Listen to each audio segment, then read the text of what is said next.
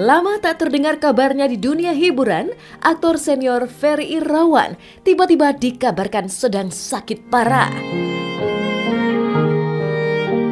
Ya, Ferry Irawan saat ini telah menjalani perawatan di rumahnya, namun lebih tepatnya di kediaman orang tuanya.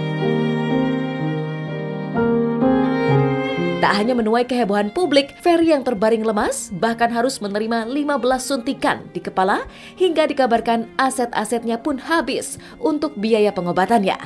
Dalam penyakit yang diidap Ferry, sang istri pun menjelaskan bahwa Ferry sempat mengalami pecah pembuluh darah di bagian kepala hingga saraf kejepit. Namun di sisi lain yang jadi pertanyaan banyak warganet, mengapa Ferry justru tak tinggal berada di kediamannya, ditemani sang istri hingga justru memilih keluar rumah. Lantas, seperti apa curahan hati istri Ferry Irawan yang terlihat haru menceritakan kronologi kepergian sang suami? Dan seperti apa pula tanggapan istri Ferry melihat beberapa sahabat artis yang menggalang dana untuk penyembuhan Ferry Irawan? Uh, karena dia memang punya sakit uh, apa kelenjar getah beningnya itu ya. Tapi setahu saya sudah sembuh gitu kan. Cuman emang dia pernah bilang dia kena saraf kejepit ya. Nah itu udah gue diobatin tapi saya nggak tahu.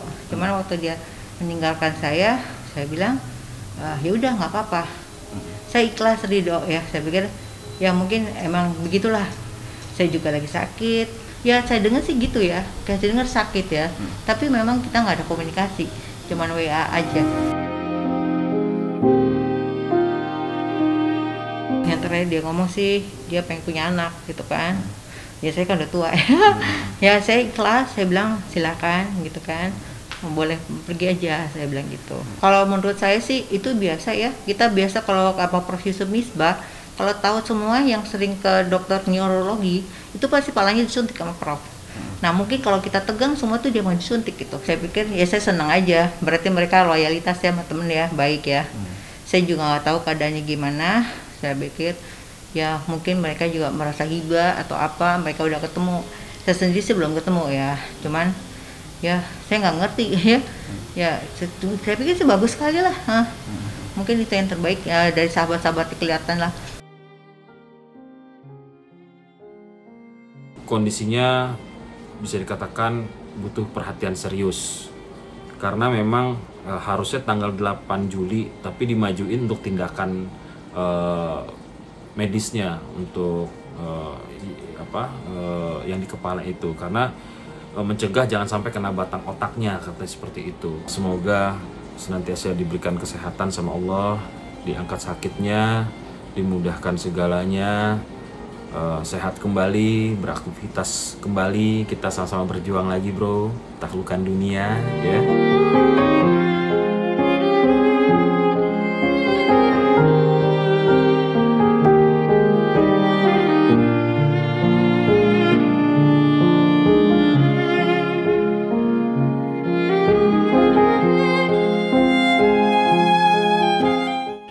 Selain kabar seputar sakitnya Ferry Irawan, artis lainnya yaitu Jane Shalimar kini dikabarkan tengah terbaring kritis di rumah sakit lantaran terpapar COVID-19. Ya, sejak masuk rumah sakit, Jane Shalimar sempat memasuki fase kritis dalam menjalani perawatan COVID-19. Bahkan, ibu satu anak itu pun sudah dipasangkan ventilator untuk membantu pernafasannya kembali membaik. Lantas, seperti apa kondisi terkini dari Jane Shalimar setelah menjalani perawatan intensif?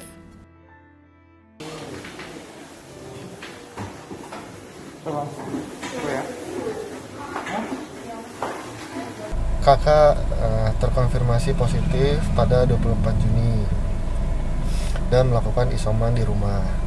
Namun keadaan menurun karena saturasi di bawah normal sampai tanggal 27 Juni. Kakak itu uh, penuh pneumonia berat karena kakak ada komorbid, kakak uh, mempunyai asma sehingga mempengaruhi ke pernafasan kakak. Untuk pelayanan rumah sakit, alhamdulillah saya sangat berterima kasih. Rumah sakit memberikan pelayanan yang sangat bagus, sangat baik, memberikan oksigen yang cukup, kamar juga uh, tersedia. Yang saya tahu kemarin memang sempat drop ya. Karena memang Jen eh, kekurangan stok oksigen. Kemudian juga nggak bisa langsung mendapat perawatan karena memang tidak bisa langsung masuk ke ruangan ICU karena di rumah sakitnya juga memang lagi penuh.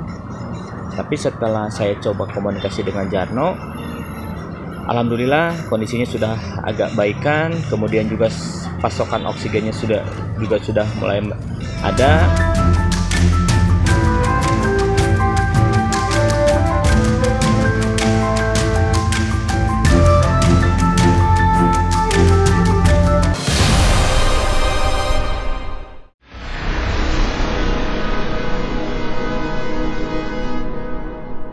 Jadi jangan lupa untuk subscribe Cumi Cumi.